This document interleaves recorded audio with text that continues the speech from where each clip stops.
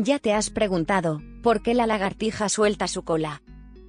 O quizás, ¿cómo puede que se les vuelva a crecer? En este vídeo te voy a aclarar cómo esto es posible.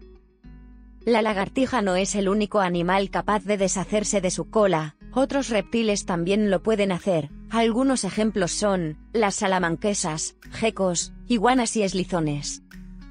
Esta habilidad se conoce técnicamente como autotomía caudal.